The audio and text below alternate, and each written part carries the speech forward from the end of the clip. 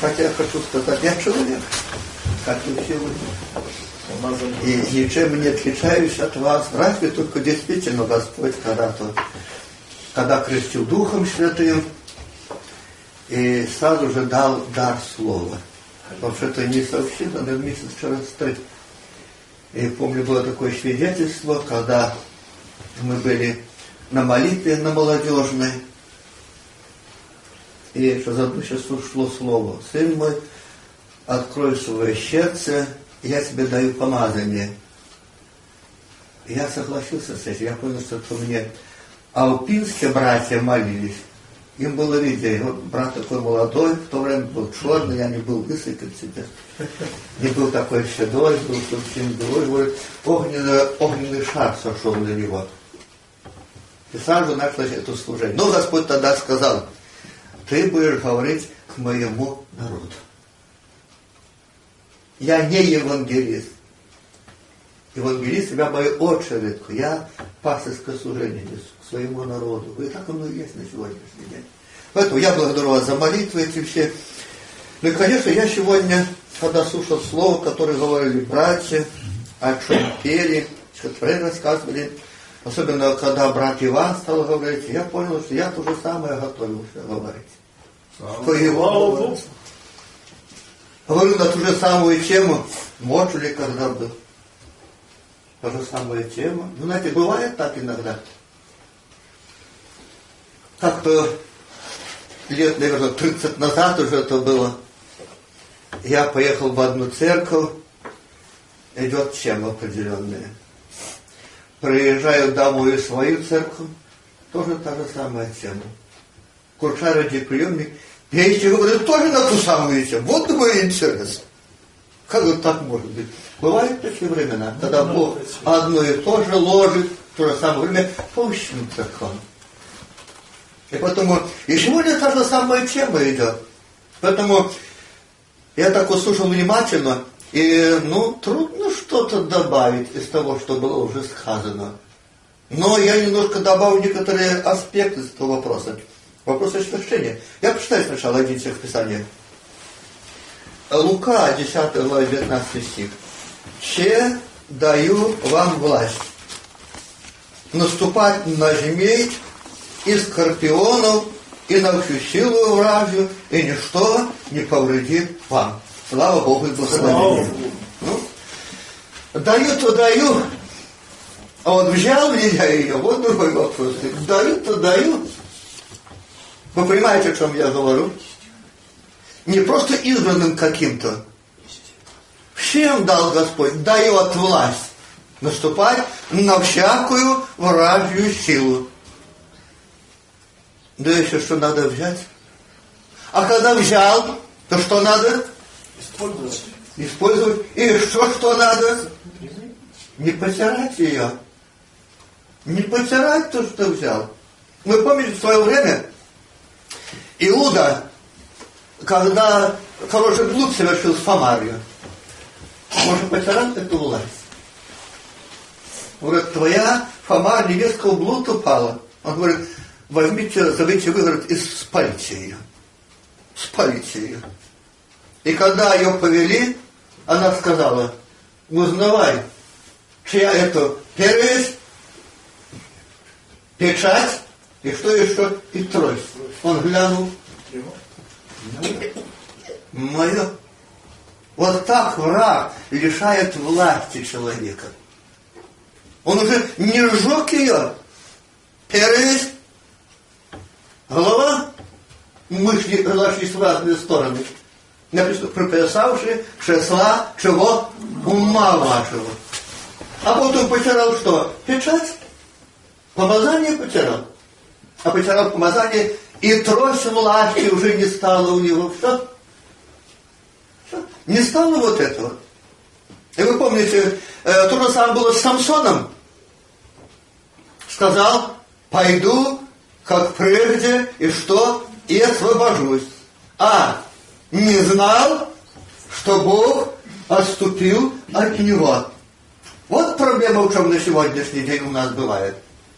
И я просто пройду по некоторым пунктам, прежде чем я сегодня буду говорить на ту же самую тему, но немножко дополню что-то. Вот сегодня брат Иван говорил кому-то. Кто-то мог воспринять его как слово от Господа, а кто-то мог воспринять как камень в его огород. Могло такое быть? Вы помните место Священного Писания? Отец, когда сын попросит у него хлеба, не подаст ему что? Камень. А ведь камень и хлеб, они очень похожи бывают. Когда зрения нет, можно спутать. И не подаст ему змею вместо рыбы. Рыба что же на змею похожа? Да, извивается так же. И не подаст скорпиона вместо яйца. Помните? Я понимаю, что сегодня не бросаемся мы словами высока, чтобы кого-то унизить. Не считайте это камнем, но если больную коснулось, знаете, я часто повторяю эту мысль, у вас это больной вопрос. Просто нечаянно, сами того не зная, коснулись вашего больного места. Вам очень сильно заболело тогда. Вы понимаете, о чем я говорю? Не потому, что кто-то приготовил что-то. Нет. Мы сегодня слушателя не собираемся камнями бросать в кого-то. Я просто приведу несколько примеров. Когда-то, я когда еще только, наверное, год прошел, полтора, когда я проповедовал, ну знаете что, молодой есть молодой. Часто что и речь какая такая, жаргоном пользуемся. Ну, все пользуются жаргоном, и мы пользуемся жаргоном. И однажды один из братьев, э, значит, говорит мне, брат Николай, а тебя такое наговорили? Ты смотри, вот дойдет до тебя, ты не огорчайся. Сказали вот не то, что надо сказать. А я и говорю ему, а мне говорят, это до лампочки, что они говорят. Слушай, говорю, что ты сказал? Ну, как что сказал? Я сказал, до лампочки мне все это. Как ты такое мог сказать? Я говорю, да вообще что, говорю, ну все так говорят, ну ты Слово Божие проповедуешь, как ты мог такое сказать? И я то не посчитал камнем свой огород, я посчитал куском хлеба. Это кусок хлеба был для меня. И я перестал этим жаргоном пользоваться. Круто и так далее, и так далее. Вы знаете, как сегодня? Говорят, кротость ваша, будет с человеком близко. А мы говорим, крутость наша, да будет известным всем человеком. Господь близко. Ну, ну, ну да, ну, ну такое бывает, это ну, молодежи. Знаете, это жаргон вот такой современным хочется быть, хочется быть блистать чем-то и так далее, и так далее.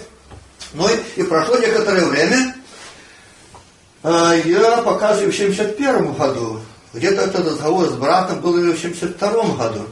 А где-то в 86 году я уже был пастором у Барановича.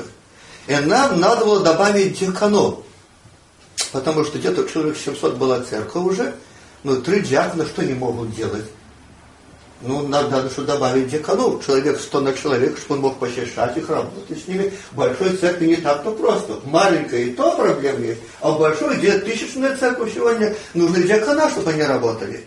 Ну, и мы собрали, я собрал церковный совет. Ну, и давайте, братья, э, кого хотите, кого вы имеете в виду. Ну, и один из братьев говорит, вот этого брата, вот того, который говорил мне, как ты мог такое сказать.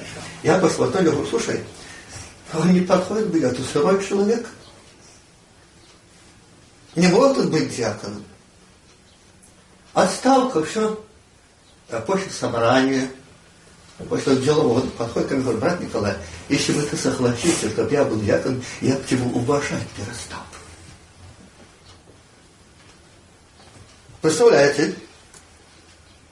Он не воспитывал свой говорит, как камень, воспитывал это норма. Он прекрасно понимал свое состояние. Говорит, я тебя уважать перестал, если ты согласен, чтобы я был диаконом. Скажите, а вы, вот в этом вопросе у нас святость не теряется иногда? Когда мы сидим и думаем, это мне приготовил, это специально для меня, почему он меня не хочет, я такой хороший и так далее, и так далее. Он отказывается. Уже вся святость меркнет тогда. Об этом никто не знает. Это все скрыто во внутренности нашей. Можем свои чувства не высказывать даже. Но если такое есть, значит, все.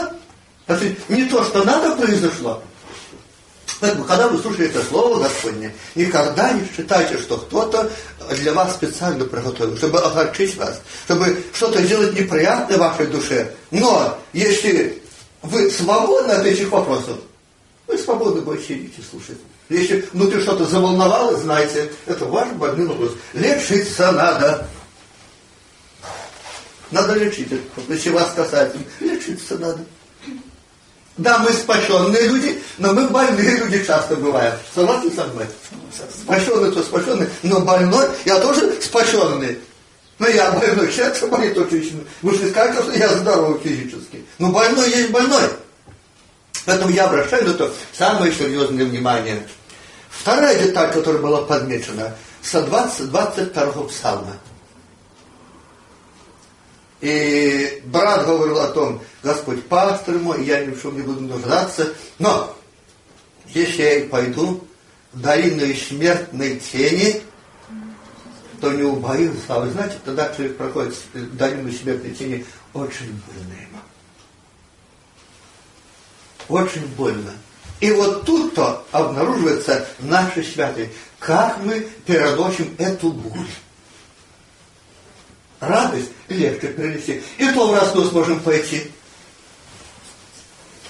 Радоваться не так, как надо. Должна быть радость от Духа Святого, не плотская радость. Может быть, когда-нибудь слышали, я такой пример приводил не один раз, когда приехала одна сестра из России, и я стал за нее молиться, ну как, я же не себе это приписываю все, то мое такое служение, я просто имею это в виду.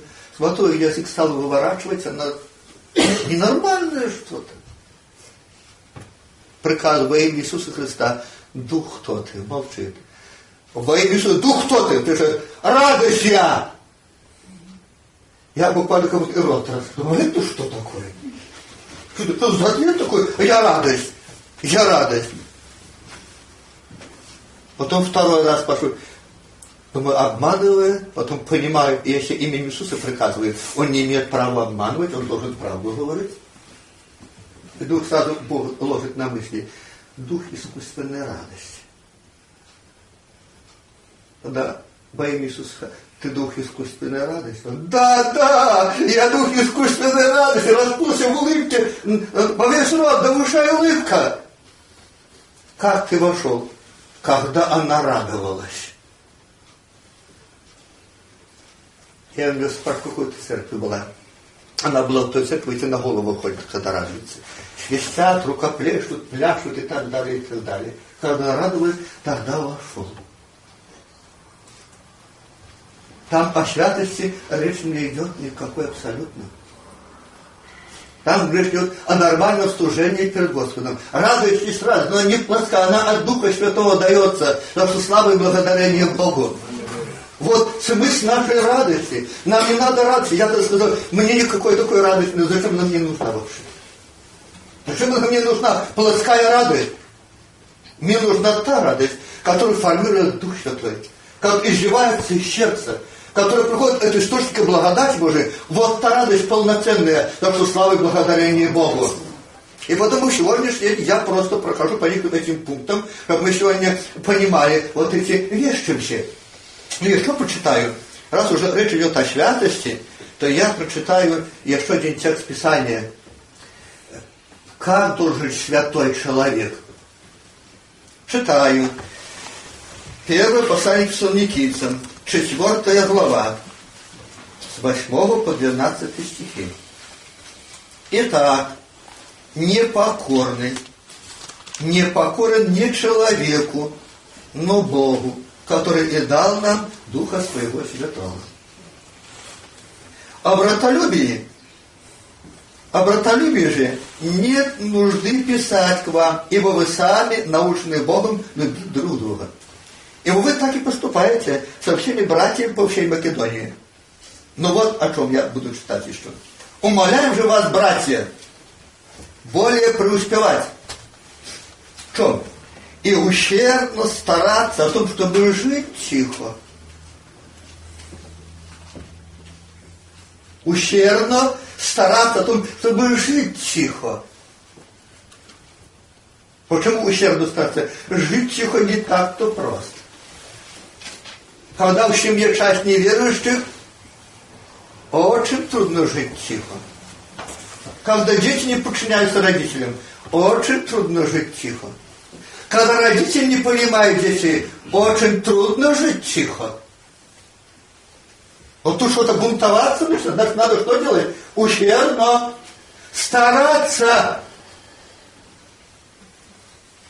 Что значит стараться? Нелегко получается. Вы знаете, вы стараетесь как-нибудь учиться хорошо.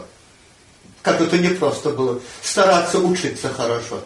Это надо зубрить, зубрить, задачку станешь решать, на 20 раз варианты различные используешь, никак не можешь решить, а ты стараешься. Ты же не останавливаешься на том э, препятствии, которое стало перед тобой. Ты делаешь. Вот здесь написано, ущербно стараться, чтобы жить тихо.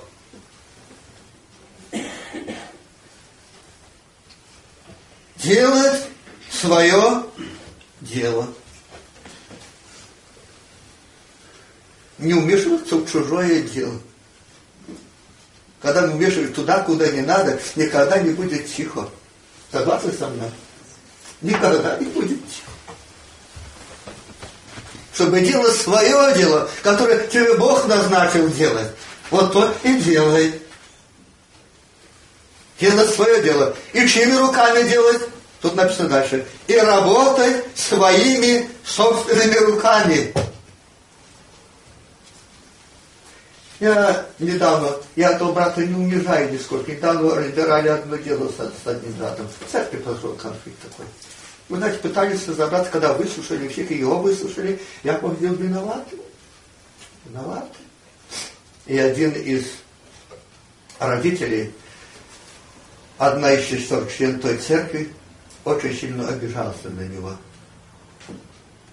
Он работает где-то в городе, имеет телефон, работает сторожем всю ночь и день, можно сесть позвонить. Он сам не звонит. Он дает задание этой сестре, ты позвони, ты узнай, кто куда ехать будет, будет ли ехать, с кем будет, и так далее, и так далее.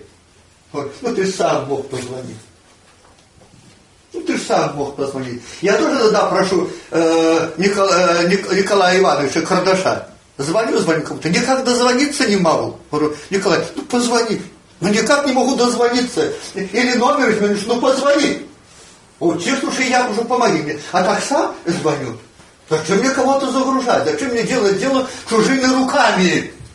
Вы понимаете вот этот вопрос? Зачем мне загружать человека, который может чем-то занят другим? Зачем мне загружать его? Когда я поставлю это дело, я должен звонить сам. Но, естественно, я опять повторяю, когда я не могу дозвониться, я прошу, ну, ну не могу, не могу никак, надо дозвониться, не могу никак дозвониться. Вот, пожалуйста, вот такие простые вещи, Сегодня брат Иван говорил об этом. Чуть конфликт, уже не можем тогда жить тихо. Не можем жить тихо. Бунт поднимается. И так далее, и так далее. Поэтому я очень просил бы, чтобы мы обратили на это внимание. Ну и что на что обращаем внимание? Э, вторая глава послания к Тимофею. Здесь очень много стоит вопросов следующих, когда читаем вторую главу через что люди в конфликты вступают, через что теряют мир, через что жить не становится тихо. Но обращу внимание только на один вопрос. И так желаю, восьмой стих, второй главы, первого послания к Тимофею, восьмой стих. И так желаю, чтобы на всяком месте произносили молитвы мужи, воздевая чистые руки, без чего без гнева а, вот, оказывается, с гневом молишься. С раздражением молишься. С обидой молишься. Будет такая молитва услышана или нет? Нет. Нет. Ты себе кричи, хоть целую ночь кричи, но если с гневом и сомнением ничего не будет. Это не молитва. Э, чтобы также и жены в приличном одеянии, со стыдусем, ну так далее. Это вчера что бывает конфликты в церкви. Ну, сами почитайте. Я сегодня камни ваших огород бросать не собираю. Читайте сами и читайте священное писание, но там все написано. Поэтому я обращаю на то сегодня самое серьезное внимание, чтобы мы это все приняли к сведению. Но дальше я буду развивать вот, вот мысль какую. Все-таки э, вопрос освящения Освящение состоит из двух этапов. Первый этап. Господи, прости мне все мои дела мною сделанные. Прости мне все дела мои, которые... И второй этап. Освободи от этих корней, которые меня увлекут. Вы знаете, что есть разница. Я немножко расскажу вам об этом. Раз что уже мне дали время много, я много времени занимать не буду, но тем не менее хочу вести в курс дела. Есть разница между грехом и соделанным грехом. Помните место Священного Писания? Якова написано. Похоть же зачавший рождает грех, а, а соделанный грех рождает смерть тогда. Соделанный грех или преступление, или беззаконие, это эквивалент одного и того же. А грех это то, что внутри нас живет, что никто не знает. Потому что как образуется? Похоть зачавший рождает грех. Откуда берется эта похоть? Или пожелание? Похотение и пожелание – это одно и то же самое слово. Четвертый главе от Марка написано. И всякие пожелания, входя в них, заглушают слово. Оно тогда будет бесплодным. Откуда берутся эти похоти? Снаружи. Они не всяк, они снаружи приходят. Снаружи приходят. И такие люди живут по воле князя, господствующего в воздухе, духа, действующего на противление. Так образуется грех сам. Есть желание у нас внутреннее, это не греховное желание, которое у нас есть, а уже по желанию, сверх желания, то же самое, накладывается одно на другое, человек становится рабом этого желания. Я вам приведу пример, житейский пример. Однажды я сижу я об этом тоже не один раз говорил, когда тут тему рассказал, очень просто понимать, когда люди, когда доступным языком говоришь. Я сижу за компьютером, у меня компьютерная Библия есть, назад у меня рабочая. Она у меня набрана, я ставки свои делал. Помните, ну как эта Библия у меня? Вот видите, у меня тут вот, я, она и сам ее сделал, тут красным написано. Это, это мои мысли сюда уписаны. Я открываю, я знаю уже, не, не вчера этой мысли. Я сижу за компьютером, работаю с Библией, жена мне говорит, Коля, пошли кушать.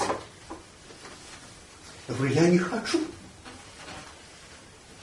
Ну не хочу я, я работаю, я не хочу. Ну пошли, говорит. Ну что ты в самом деле? Мы где-то покушали часов в 9, уже три часа. Ну пошли кушать. Ну, ну не хочу, Света, ну не хочу я кушать. Ну говорю, ты через час захочешь. А потом мне опять на стол стал, опять греет тебе. Пошли, я собираюсь, зашел на кухню, глянул, как это так пожарное хорошо. Захотелось сразу. Потянул носом, захотелось есть. Сел, покушал, слушай, добавь еще. Она, вот ты даешь. То говорил, не хочу, а теперь добавь еще. А говорит, аппетит приходит во время еды. Откуда пришло это желание есть?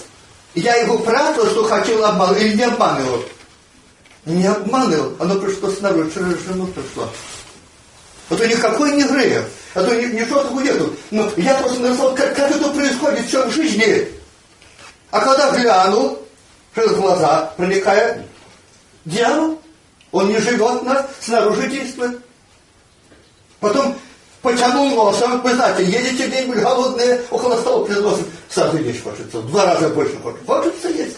Обоняние работает. Работает Слух работает. Пошли кушать, я тебе приготовил, уже воображение что-то нарисовал. Потом, когда взял, захотел еще, говорю, давай еще. Вот так образуется грех. Но мы должны благодарить нашего Господа, что у нас есть действие крови Христа для освящения. Когда ты сделал что-то, правда, грех и содержанный грех, есть разница большая.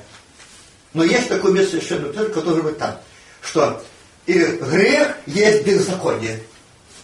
Почему? Я говорю, грех это не беззаконие. А почему здесь написано, что грех есть беззаконие? Как это так понять?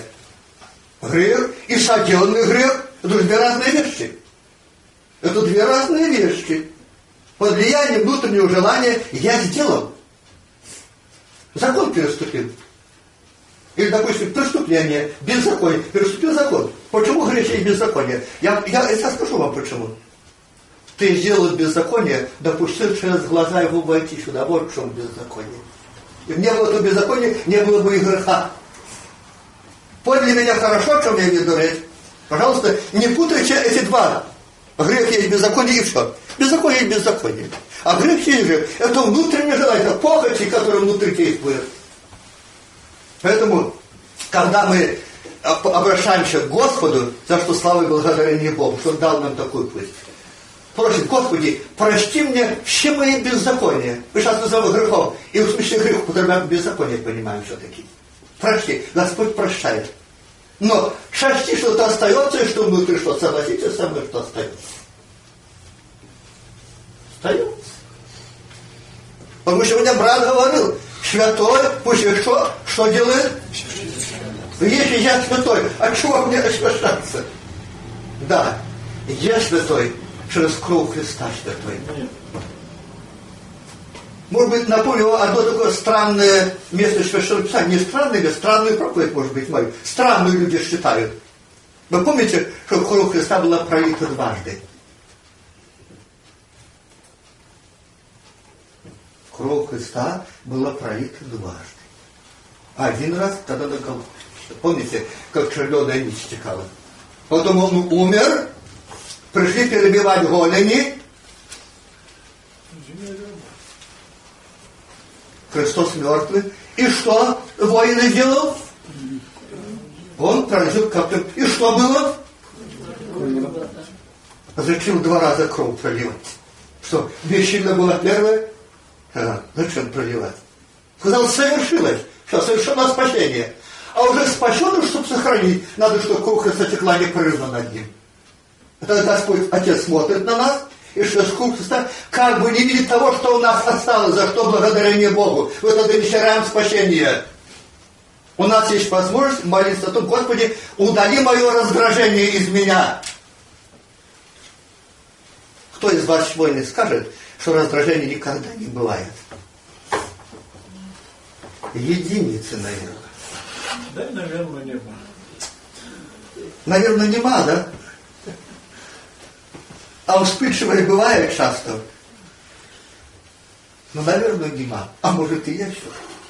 А может, а есть. Все есть. Мы часто даем эту часть. Не делаем греха, слава Богу. Мы говорим, мы победители. Но он же есть. А это надо этой корни убирать.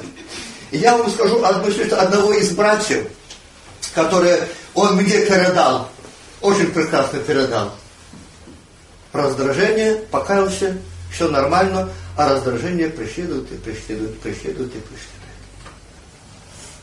Господь говорит ему однажды, молись, чтобы я убрал этот порог твой из сердца. Где-то вот молился года три, постоянно, каждый день. Как чуть что жена сказала не так, раздражение. Не так, раздражение. И однажды говорит, мне снится сон. Кто-то, говорит, взял и что-то раз и отбросил от меня, что такое чуждое, чуждое, раз и А говорит, встаю, утром захожу на кухню. Ну, а жена, так жена. Что-то буркнула ему. Смотрю, вот я из похода нет. Вот жду обеда. Пришел опять. Опять что-то чечили, кто-то сделал. Опять раздражения нету. Слава Богу. Слава Богу. Ну, понимаете, мы с тем, кто не согласны, можем быть. Но без раздражения должны быть не согласны. А с раздражением не согласны. Это уже порог. Понимаете меня, о чем я говорю? Или, допустим, обижает кто-то. И я не могу согласиться с тем, что обо мне говорят. Я тогда и не обижаюсь, когда у меня обиды нету. Ну, сказали, да сказали, я не согласен с вами, но и обижаться не обижаюсь, и раздражаться не раздражаюсь. Почему? Освящение произошло.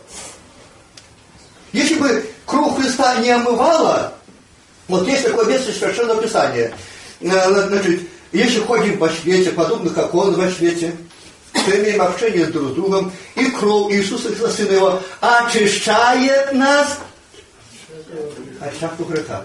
Да скажи, есть разница? Очистила и очистит, и очищает. Очищает постоянно. Постоянно. Постоянно. Слава благодарению Богу. Очищает. Очищает нас от всякого греха. Слава Богу, благодарение за это. Почему я об этом сегодня напомнил? Очень часто, когда люди дьявол мышлями забивает, эти похоти различные бродят все, человек старается не проявляться в жизни, а дьявол его добивает. Ты говоришь, лицемер. Ты обманщик. Если бы люди знали, что у тебя делать, что ты думаешь, они никогда с тобой дела не имели, ты погибший, тебе никакого спасения нету. Но оно есть, ты же не делаешь. Понимаете, о чем я говорю? Ты же не делаешь его, ты же воюешь с ним, за что слава благодаря Богу, что Бог дал эту возможность воевать это. Почему? Кровь Христа бывает. Если бы крови Христа не было, Отец никогда не принял нас такими, какие мы есть. Скажу, ты же во Христе, ты покаялся, но ты же не освободился. Почему не освободился, не знаю. Почему нас часто преследует грех? Почему часто проблемы в? Не знаю, почему. У каждого своя причина на это. Но тем не менее есть. Но мы еще должны благодарить Бога, что кровь Христа очищает нас от всякого греха. И однажды придет конец всякому греху. Когда мы умолим Господа, когда побольше перед Ним хорошо, и Бог отнимет все это. Я просто второй пример привожу со своего собственного примера как Бог меняет часто характер и взгляды. Ну, первый пример я вам скажу, когда меня избрали в Москву ехать. Мне так не хотелось туда ехать, чтобы вы подали. Расскажите, что в Москву, я-то знаю. Ну, когда избрали, у нас еще был Советский Союз, избрали, значит, туда служителем, заместителем епископа по СНГ, по всему Советскому Союзу. И когда здесь в Минске был, это я был старший по по, по, не по области, а по всей Белоруссии был старшим епископом по Белоруссии. Потом избрать я туда пошел. И когда туда избрали, вы знаете что? Для меня что в гроб лет было, что ехать туда. Как не могу. Не могу и все. День за днем пробежать, ехать надо. Не могу и все. Думать, Господи, ну не могу, я не хочу туда, я не хочу, не хочу, не хочу. Ну, да будет воля твоя.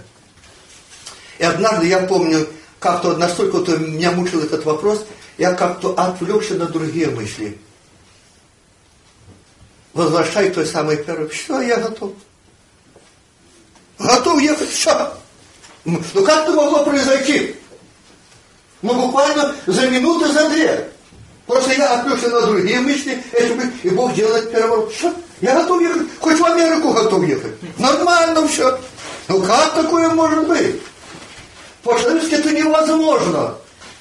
Меня убедить никто не мог. Ну, знаете, оставлять свое, ехать неизвестно куда, жить там на квартире. Ну, ну кому хочется такое? А ты уже готов ехать. Потом был второй случай. Я просто говорю о том, как Бог меняет, как Бог очищает сердце человека. Я никогда не был завистливым. И когда мне говорили, завидовать, не понимаю, ну, что такое завидовать? Ну, не понимаю. Ну, что такое завидовать? Мне говорят, ну, у кого-то что-то есть, у тебя нету. Говорю, ну что, что у меня нет, у него, ну пусть. Ну, не понимаю, что такое. Говорю, ну, не понимаю, как это завидовать. И вдруг однажды нападает на меня зависть. Спать не могу. День, ночь одно и то же в голове, хочется что-то, не надо. Через три дня Господи, что, забирай меня, ты уже знаешь, что такое зависть. В одно мгновение раз до сегодняшнего дня нету, слава Богу. Слава Богу освящение Божьим происходит. Освящение. Но два этапа. Первое. Дела прощены. Если дела не прощены, закрыта дверь в сердце. А когда дела Бог простил все, слава Богу. Значит, Бог проник в сердце, начинает делать свою работу, освящает нас. Но для этого что надо? Я читаю еще один текст Писания. Жаждущие, идите все к водам благодать Господь написано, ибо явилась благодать Божия, спасительность для всех. Что она делает? Научающая нас, чтобы мы праведно и целомудренно жили в нынешнем веке. Она меня учит, а я учиться не хочу. Скажите, будет результат или нет, если я не хочу учиться? Нет. Не будет? Скажет, да благодать же явилась. Но явилась, но она учит, ты же ей подчиняйся. Ты же делай то, что она у тебя требует. Она тебе дает совет это благодать. А если я не учусь, ну все, отступник, Может, отступила от, от чего-то и так далее, и так далее. Жаждущие, идите все к водам. Даже и вы, у которых нет серебра. Идите, покупайте и ешьте. Идите, покупайте без серебра и без платы вино и молоко. Ну как это покупать? Ну, надо что-то платить. И Господь нам даром все дает, правда, даром. А второе место Писания говорит. Помните вот Откровениана, одну из церквей, что написано? Купи, купи, купи. Как купи? За что купи? Тут написано, покупайте без серебра или нам. Время поменяйте в молитве, чтобы взять это. Что такое купить? Это обменять одно на другое. Мы сегодня деньги меняем на колбасу, на хлеб, да? А здесь, чтобы купить, надо же на коленях постоять. Надо же поменять время рабочее на время в церковь прийти помолиться. Это будет иметь значение большое. Я помню когда-то, когда у нас же, вы знаете, есть э, несколько дней, когда мы собираем нашу область построить для молитвы пасторской. Ну, однажды эта молитва была в Драгичине у нас, я уже не помню, какой год, наверное, года три назад было. Ну, один из братьев звонит. Э, а класс отсюда. Не могу, наш огурцы, все это самое. Ну, ну, нас не уже не заставить не могу. Другой звонит тоже. Ну, не могу. Едем мы домой уже после молитвы. Одна сестра звонит по телефону, в нашем мобильнике сейчас можно связаться. Слушайте, что у вас там было? Говорит, Господь сказал, э, кто не послушает, это будет ущерб иметь. Это, говорит, проверка была, что тебе дороже. Понимаете меня хорошо, а? Когда у нас праздничный день воскресный, мы же ничего не теряем, мы только приобретаем. А если бы сделать эту будничный день, помолиться день, вам надо было чего-то отказаться, вам работа своей. Это мы не государство, может, своя. И вот тут же стоял бы вопрос, что вам дороже, молитва побыть в церкви или огород свой? Все? Это очень серьезный вопрос стоит э, вот в этом разрезе. Что тебе, что тебе дороже? Поэтому я обращаю на то самое пристальное внимание. И дальше, что Господь говорит еще? Что мешает нам получать от Господа то, что мы хотим получить? Евангелие от Матфея, 11 глава. То есть Господь говорит, я даю вам власть. Но вы не можете потерять из-за несовершенства характера. Можете не приобрести, потому что не приложили усилия определенного. Я думаю, что потери будут. Э, придите ко мне все труждающиеся и обремененные, и я успокою вас. Вот пришли, 30-40 лет уже, а покой есть? Наверное, где-то есть, а где-то и нет. Где-то есть, а где-то нет. Почему? Что-то Слово Божие неверно. И написано, придите ко мне все, труждающие, обремененные, я успокою вас. Возьмите иго мое на себя и научитесь от меня. Ибо я кроток и что?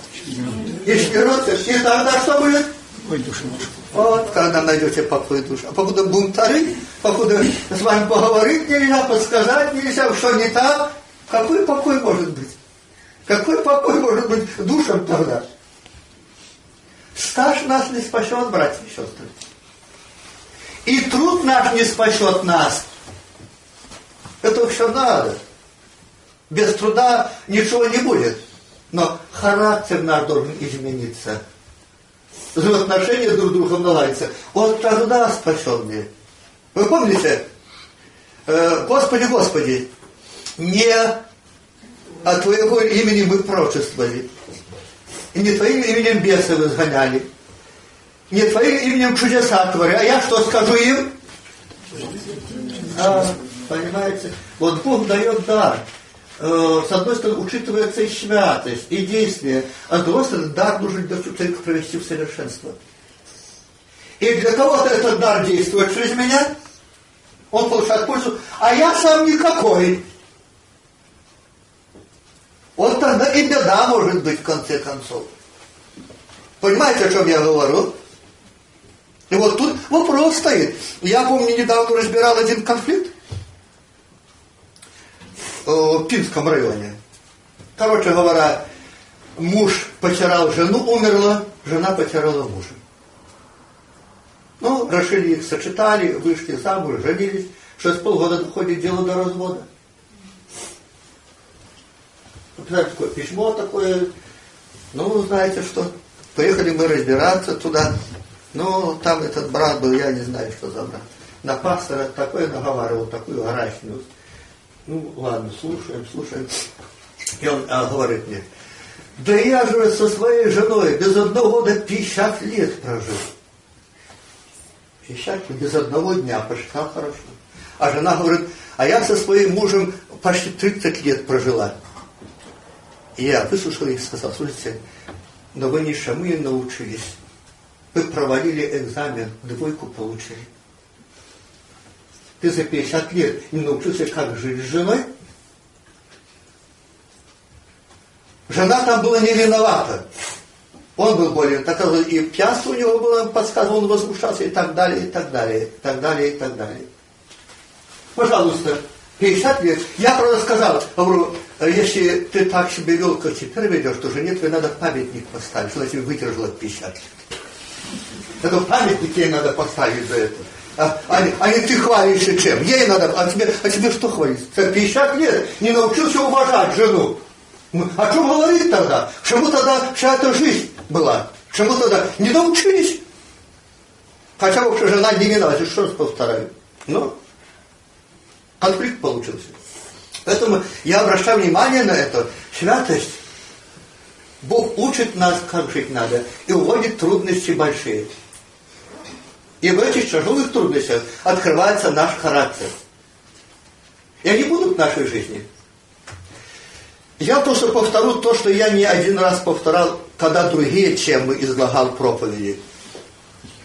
Меня особенно э, как-то удивило, не то, что удивило, а непонятно было вот этот момент, когда Иисус Христос молился в Гефсиманском саду. И говорил, Отче, если возможно, доминует меня чаша сия. Господи, ну почему, думаю, такая молитва была? сказать, что не подчинялся отцу, не любил отца, это уж ересь уже будет. Сказать, что нас не любил, не скажешь тоже, ради нас он пришел. Ну почему? Почему он так молился? И Господь говорит, в жизни всякого человека, независимо от его духовного возраста, независимо от его пола, всегда будут трудные времена, которые ему радости не принесут, а только боль причинят только будет учить. И тогда будет очень видно хорошо, что тебе больше всего э, надо. Исполнить волю каким-то образом эту боль удалить. Но Христос сказал, Отче, если возможно, примет мне чаша сия. Впрочем, не моя воля, а твоя да будет. И в самом деле, какой бы у нас ни был духовный возраст, как мы не были служителями, а, а если болит, то болит. Никому радости не доставляет болит. Болит, сильно болит. И вы помните, Христос на кресте тоже однажды произнес, Боже мой, Боже мой, для чего ты меня оставил? Что он упрок Богу послал? Нет.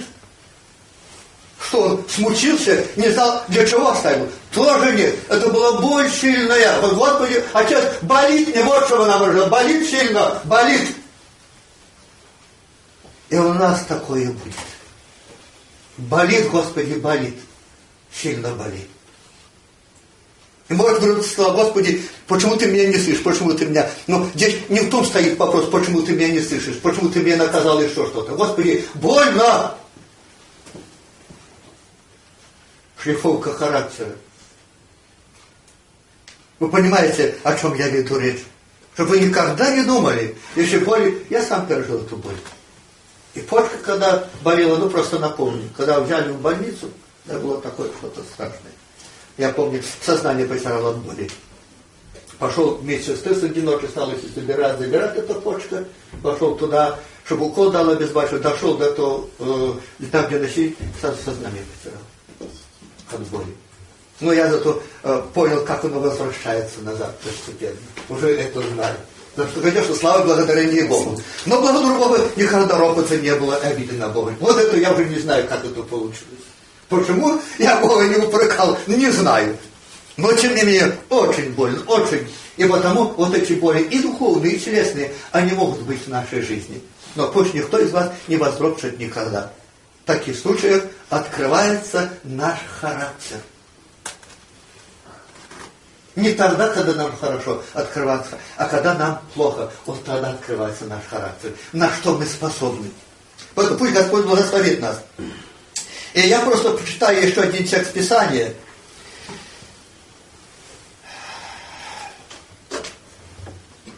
Э, Евангелие Луки. Я уже возвращаюсь к первоначальной теме. Власть нам дана. Я даю вам власть. Читаю еще текст Писания. Лука, 16 глава, 17-20 стихи. Уверовавшие же будут сопровождающие знамения. Именем моим будут изгонять бесов. Будут говорить новыми языками. Будут брать змей. И если что смертоносно выпьют, не повредит им. Возложат руки на больных, и они будут здоровы. Скажите, это власть? Власть. Власть. Без этой власти дьявол не боится наших формул. Он не боится нашего крика. Он боится присутствия силы Божьей и власти. Вот чего он боится. Поручей книжники учили очень хорошо все. Законы учили. Но там был, помните, одержимый все время в синагоге был. А когда Иисус пошел, сразу закричал. Что тебе до нас? Ты пришел сюда раньше времени учить нас. Помнишь, мы совершенно сказали? Власть. Но, читая еще один текст Писания, когда мы теряем эту власть, почему мы часто не можем ей воспользоваться? Если даже взяли, вы помните место Писания, куда говорит так, э, пророчествующий пророчествует по мере чего? Мера. Мера веры разные у нас бывают. Почему? Я читаю. Э, первое послание Иоанна, третья глава с 21 по 23 стихи. Возлюбленные, если сердце наше не осуждает нас, то мы имеем дерзновение к Богу. Вера, дерзновение к Богу. Когда? Если сердце наше не осуждает. А если осуждает, будет дерзновение к Богу? Не будет. Речь идет о практической вере. И есть вера спасительная, которая не зависит от наших дел. Мы пришли к Господу, поверили, что Он умер за все грехи наши. И что мы не наделали, исповедовали грехи наши, Господь прощает, за что слава Богу и благодарение. А хочется, что это практическая вера. Как ты живешь? Святость. Сегодня брат Иван говорил очень много о святости. Я просто напомню, я не один раз тоже говорил эту проповедь. Есть вера евангельская. Есть такая вера. Вера Божия есть. Вера мертвая. Вера живая. И какая что вера есть? Какая? Какая действующая? Что какая? Ну давайте, давайте думайте. Святейшая вера, что есть. На святейшая вера. И как раз то э, вера у Моисея была, когда он ударил скалу, потекла вода. А вера же есть, осуществляется, но это была не святейшая вера. И Господь сказал, все, а благами земными ты не сможешь пользоваться. На сегодняшний день ни прочеством, ни исцелением, если вера не святейшая, она обкрадена. Нет дерзновения. Все. Кто его знает, слышит меня Бог или не слышит? Вы только прочитайте вот это Священное Писание, я прочитаю раз. Полностью. Возлюбленные, если сердце наше не суждает нас, то мы имеем дерзновение к Богу. И что они попросим, получим от Него. Почему? Потому что соблюдаем заповеди Его. И делаем что? Как вы думаете? Гармонирует с нашим знанием просто или не гармонирует? Говорим, а ты не обращай внимания на дела, что ты вер. А это вера вот от чего зависит. Еще раз читать, слушай внимательно. Можете проверять, чтобы я не выдумал чего-нибудь. Я думаю, это написано. Это не пророк вчера сказал. Это не я выдумал. Это священное писание. Слушайте, с чем связана вера наша? Возлюбленные, если сердце наше не осуждает нас, то мы имеем дерзновение к Богу. И чего не попросим, получим от Него, потому что соблюдаем заповеди Его и делаем благоугодное перед Ним. А если не делаем, не соблюдаем заповеди, то что будет? Получим или не получим? А вот, к сожалению, не получим. Хотелось бы, ну, вера да и все. Оказывается, святейшая вера. Я просто напомню вам. Сегодня брат может, вот меня слышал когда-то, может, я напомню, что Павел не получил здоровья.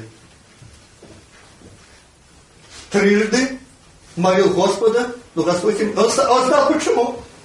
Чтобы я не превозносился. Гордость это была еще. Все, Бог сказал, нет, нет, Павел, стоп. Если я тебе дам здоровье, ты пойдешь. Мне этого не надо. Святейшая вера. Павел, в тебе святейшая вера, сам признал же, он уже сам сказал это. Чтобы я не превозносился, что звучались откровения, дано мне жалобу твой, ангел сатаны, удрушать мне, чтобы я не превозносился. Пожалуйста. И Бог строит у нас святейшую хочет, чтобы святейшая вера была. Поэтому, если мы что-то не получили, знаете, это не просто, не потому, что Бог не слышит, не потому, что Бог не может. Есть причина в нас. Какая? Не знаю какая. Не могу понять какая. Но и тогда, помните, что Павел говорит, советовал Тимофею? Лекарство употребляй. Употребляй лекарство. Не говорите что-то неверие. Не говорите так. Когда Тимофей болел желудком, я думаю, он просил Павла. Рядом был Павел. Возлагал руки, больные исцелялись, одержимые освобождались. Почему не помолиться за него? Помолись за меня, Павел, желудок болит. Павел помолился, еще не получается. Я не думаю, что Павел отказался, и поэтому остался Тимофей больной. Молился. Помолился, молился и сказал, Брат Тимофей, ничего не получается, лечись таблетками. Лечись таблетками. И не думай, что что-то нерость или что-то такое. Лечись. Трофима тоже оставил Павел больного у да? Он не стесняется сказать об этом. Я оставил Трофима больного у. Как ты сам на себя наговариваешь, что ты бессильный? А, а, это не волнует меня. Я помолился, не получается, вера была, но Бог не дал, что я мог дать? Ничего не дал. Оставил Трофима больного у милиции. Там написано. А? Может, у Трофима э, не было веры, кстати, вот у Павла не было. Ну, не знаю, может, воля Божия была другая. Тут же надо и в этом вопросе иметь четкость и ясность. Вот пусть Господь поможет нам стремиться к святости. Где будет святость, где не будет нарушения Слова Божия, исполнения воли Его, там враг не сможет обокрасть нашу веру. Как только совесть осуждает нас, мы не можем иметь дерзновения у веры. Может, кто-то утверждает, что могу, я не знаю. Но вот тут написано так. Если совесть наша не осуждает нас, то мы имеем, а если осуждать имеем, ну ясно, обратно пусть рассуждению дайте, и ну не имеем, значит. Что именно в Боге или в ком-то.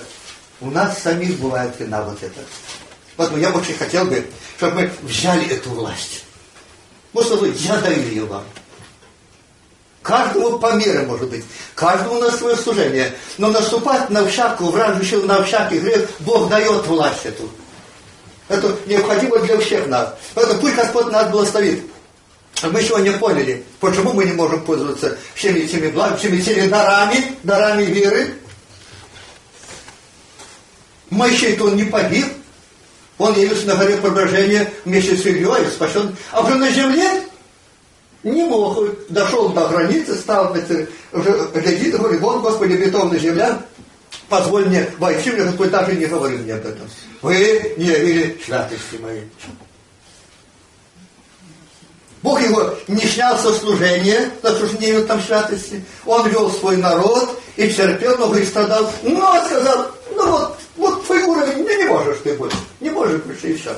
Поэтому, когда мы склоним наши колени, давайте попросим Господа прощения за все. Может быть, еще что-то обнаружили в себе. Ну, еще в чем-то оказались виноваты. Почему Священное Писание говорит, вникай в себя и в учение. Сафония где-то говорит такие слова. Исследуй себя внимательно, народ необузданный. Почему вы себя внимательны? Чтобы найти, что покаяться надо. Вы нигде не найдете, что Бог говорит, не исследуйте себя. Исследуйте. Исследуйте.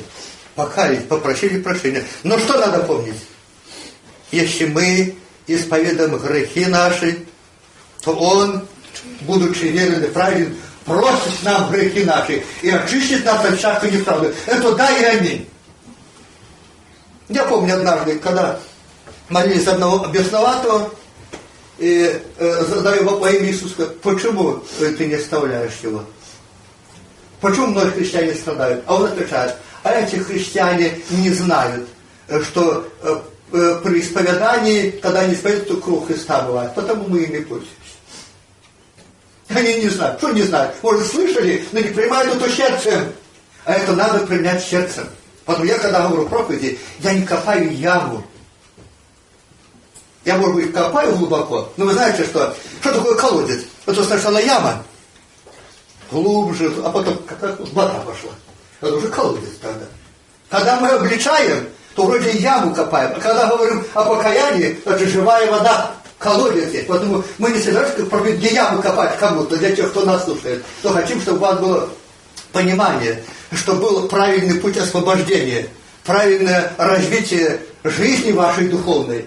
А все начинается с глубокого покаяния, так что слава благодарение Богу. Ну, давайте сходим колени. Поблагодарим Господу за все Господи, попросим прощения у Него, и пусть милость Господня наполняет наши сердца. Склоняем колени.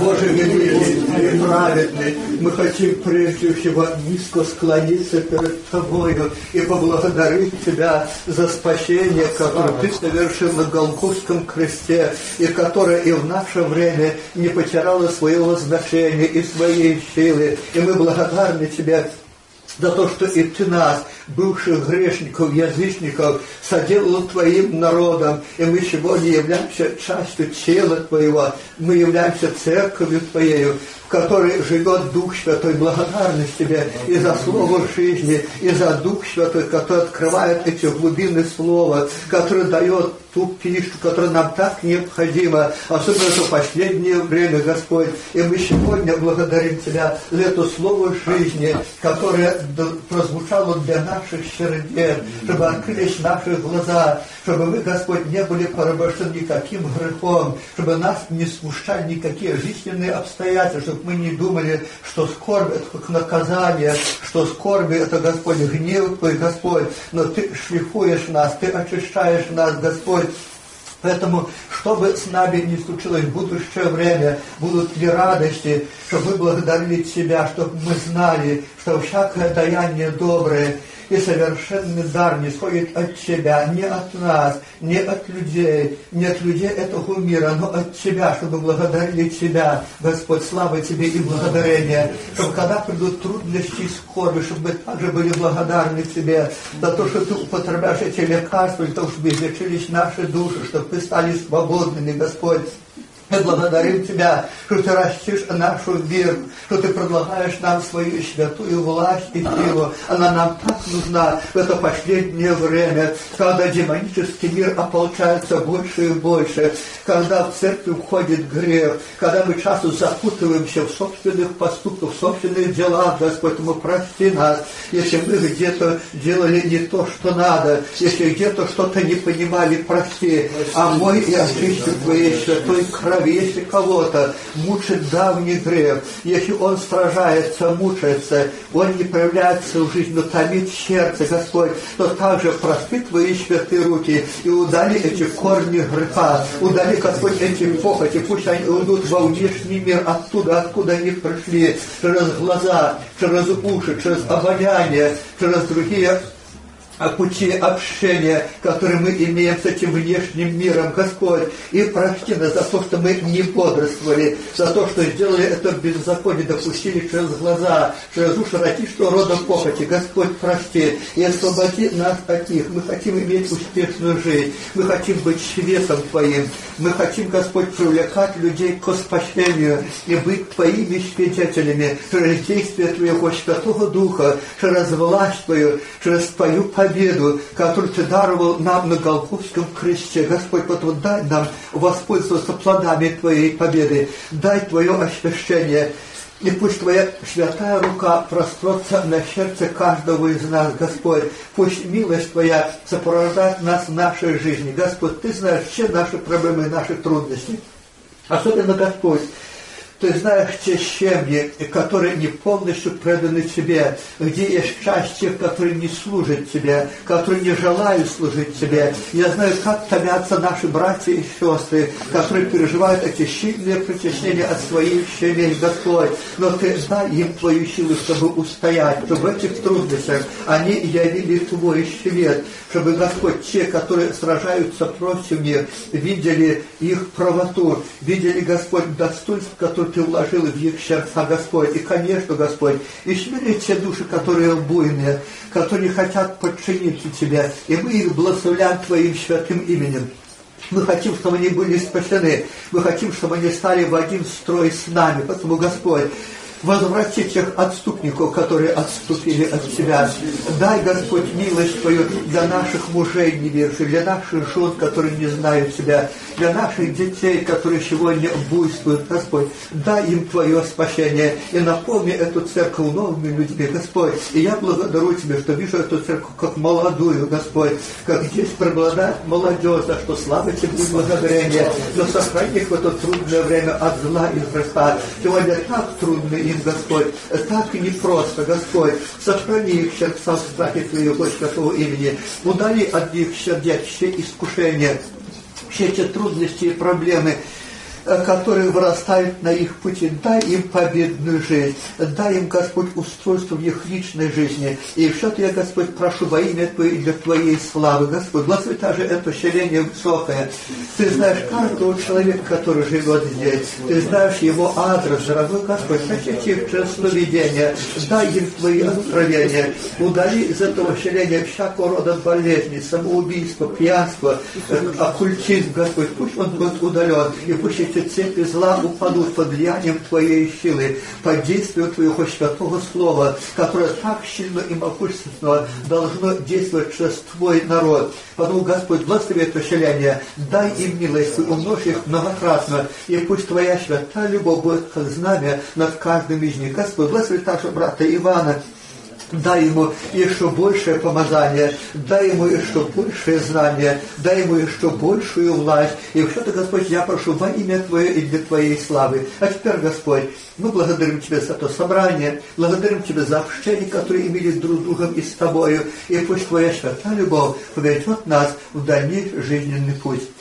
Пусть Тебе за все будет вечная слава Отцу и Сыну и Святому. Аминь.